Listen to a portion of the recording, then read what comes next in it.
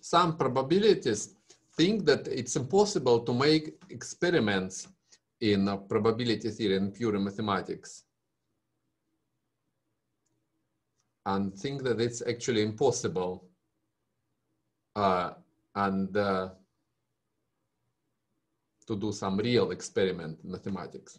It's too hard, especially if it's pure mathematics, as I said. This is, however, uh, not uh, completely true.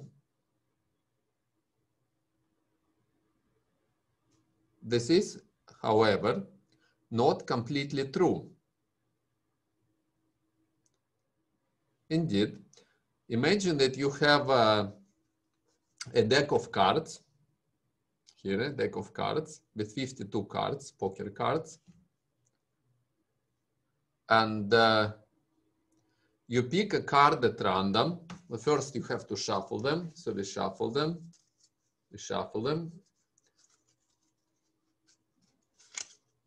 And now pick a card at random and we want to know what is the probability that randomly chosen card is heart. So pick the card at random and we got hearts. Right, so put it back in the middle. And now uh, to compute the probability of this event, we might draw another card. So let's draw a card, another card and see what it is. And that's a heart again. And um, I don't know, let's draw another one. So this is, oh, this is four of hearts again. So it's hearts. But suppose that we want to work out rigorously what's the probability of getting these cards. So this is not as difficult as it seems. You have to count first uh, how many cards you have. So how many cards you have in this deck. Uh, in this deck, we have 13 hearts like this. And uh,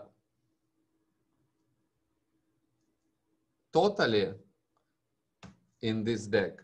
We have uh, how many cards we have? Well, we have 52 cards. So we have 52 cards here.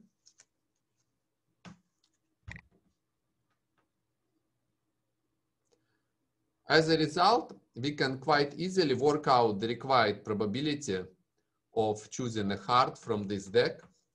And to do so, we need uh, to divide 13, the number of hearts in this deck, by the total number of cards in this deck, and this probability will be one fourth.